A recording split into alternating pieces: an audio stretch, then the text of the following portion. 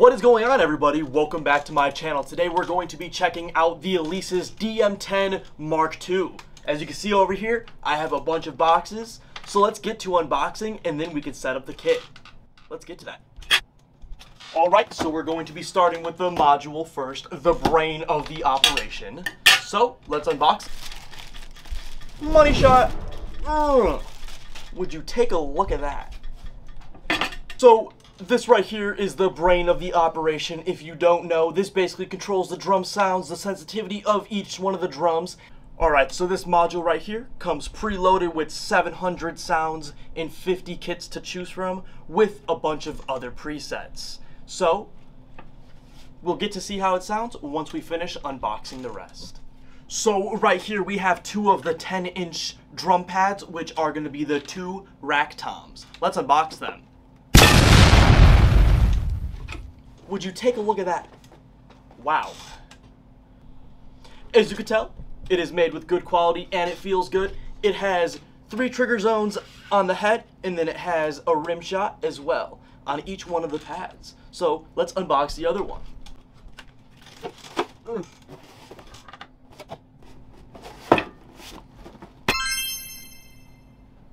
And would you look at that? It's the same thing.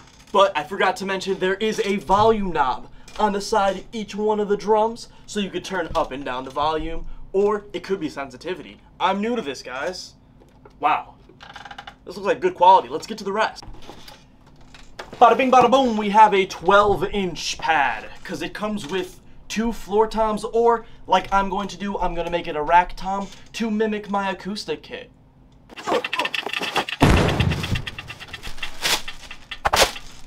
And as you guys can see right here, it is the same thing. Wow, it's almost like it's an electronic drum pad. This one also has the volume knob on it as well, and boy oh boy does it look good. It, time to bring out the package! Uh. So this right here, we have the cymbal, the 14 inch triple zone with ZTRS cymbal. What does that mean? Don't know, don't care.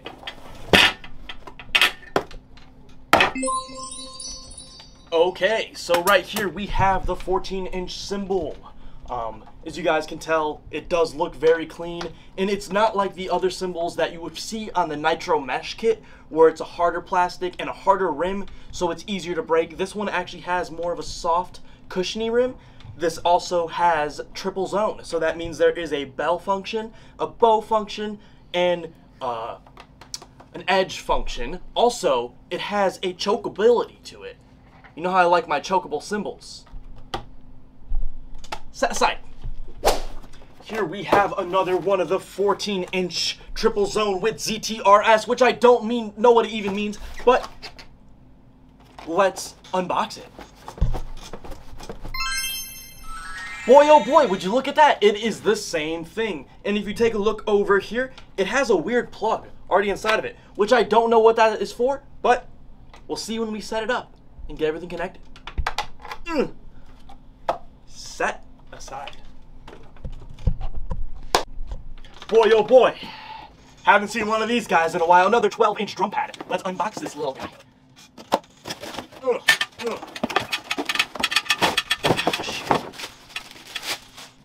Another very high quality drum. So here we have the 12 and the the 12 and the 16 inch cymbals.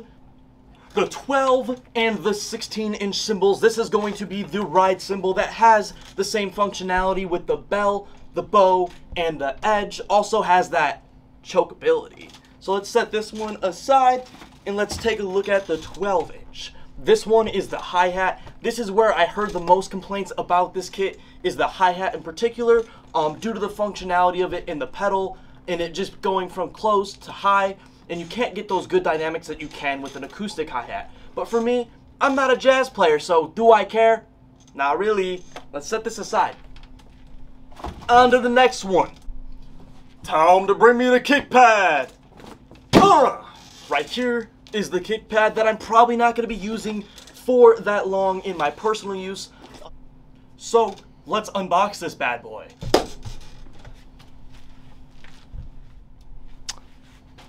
Voila! Here we have the kick pad or the kick drum. Thank you, scissors. It's pretty self-explanatory. You put your drum pedals to it and you kick it. Um, this supports double bass as the width does support that. Um, and yeah, really not much to it. It's pretty heavy, seems durable. Set aside. Uh, so this kit does supply you with a snare stand, pretty basic, not gonna really go over too much on this. Let's unbox it. Whoa, whoa! And as you guys can tell, I wasn't really expecting much with this snare stand, but it does seem like it is pretty good quality and pretty hefty. So, let's set that aside.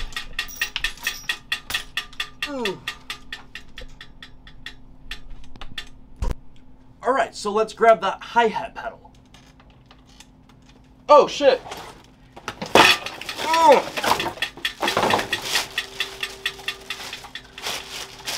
So this is what all the complaints are about right here. This bad boy does bring the reviews down on this kit and steers a lot of people away from getting this drum set. But we'll have to see the functionality and fine tune it to get the best sound possible out of it. Boop! So let's grab another one of these bad... Oh, I guess this one didn't come inside of a box. Hold on. Mm. There we go, that is better. So let's unbox this 12-inch drum pad. Ah, it didn't come inside a box. Get it? You guys can see, it's another one of these bad boys. I bet you weren't expecting another one. This one also has the same functionality as the other ones. Not going to get into depth because I've already talked about that. Let's set this aside. Boy oh boy do I feel like a kid on Christmas. Here we have the lame ass accessory box.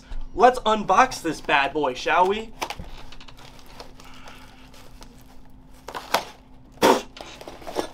Uh.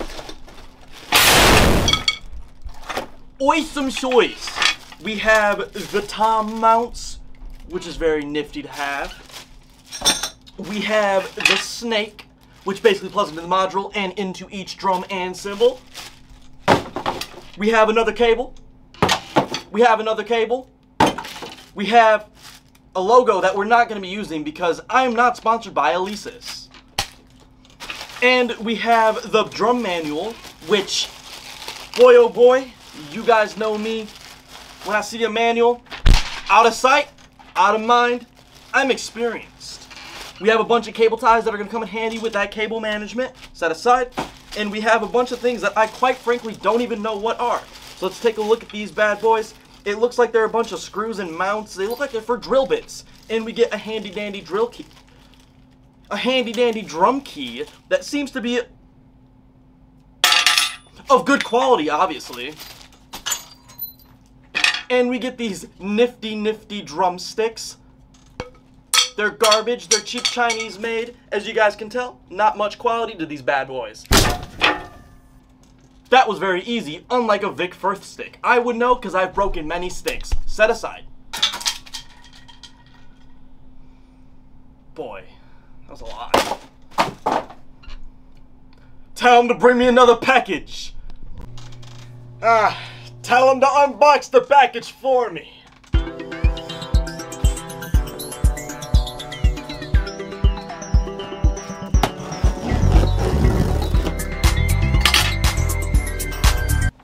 Thanks, guy. Here we have the nifty drum rack. Uh, there we go. This box is fairly heavy, so I don't want to break this glass table I am currently on. But nothing really to it, a bunch of cymbal stands, and a bunch of rack poles. These do seem like they are fairly high quality, like my Gibraltar rack for my other kit, so that'll be very nifty when setting up this kit. So, let's get into the setup of this drum kit as we have no more packages. Scooby!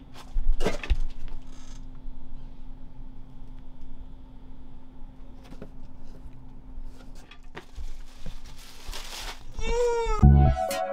Thank you.